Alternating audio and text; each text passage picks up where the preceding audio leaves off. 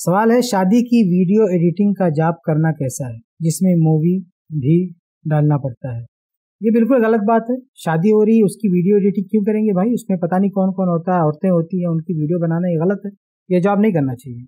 ये जॉब बिल्कुल नहीं करना चाहिए। ये नाजायज़ है, बिल्कुल गलत काम है कि शादी में आने वाले लोगों की वीडियो एडिटिंग करना, खासतौर से वहाँ औरतें होती हैं। औरतें ना भी हो, मर्द हजरात हो तो क्या ज़रूरत है उसकी वीडियो रिकॉर्डिंग करने की।